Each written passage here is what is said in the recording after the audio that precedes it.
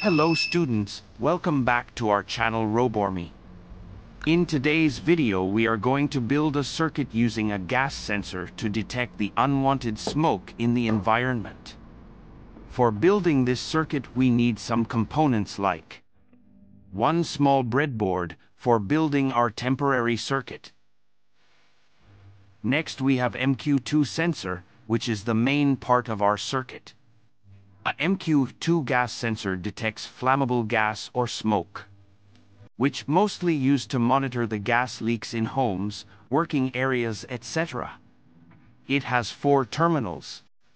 VCC, ground, digital, and analog. Next up we have a mini buzzer. This gives us a signal in form of sound when it senses any gas leak or unwanted smoke. For powering the circuit we have one lithium-ion cell with holder. You can use any battery under 5 volts.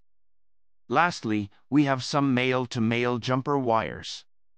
So, let's start building the project.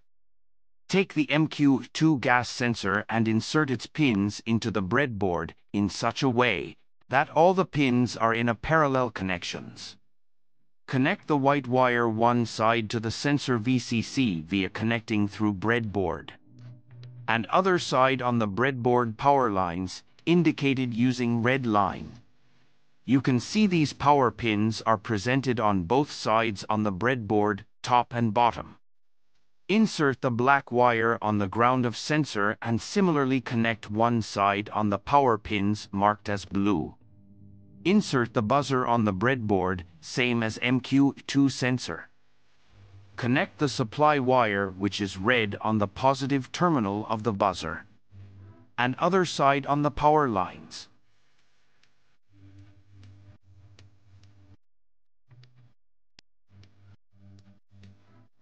Connect digital output to the negative terminal of buzzer via breadboard.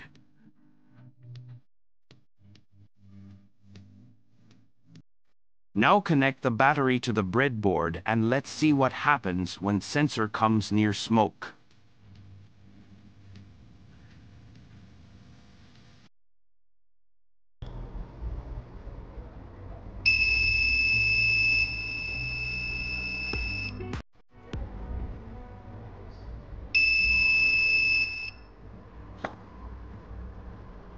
Our circuit works absolutely fine you can see the buzzer starts beeping as soon as sensor senses smoke in environment.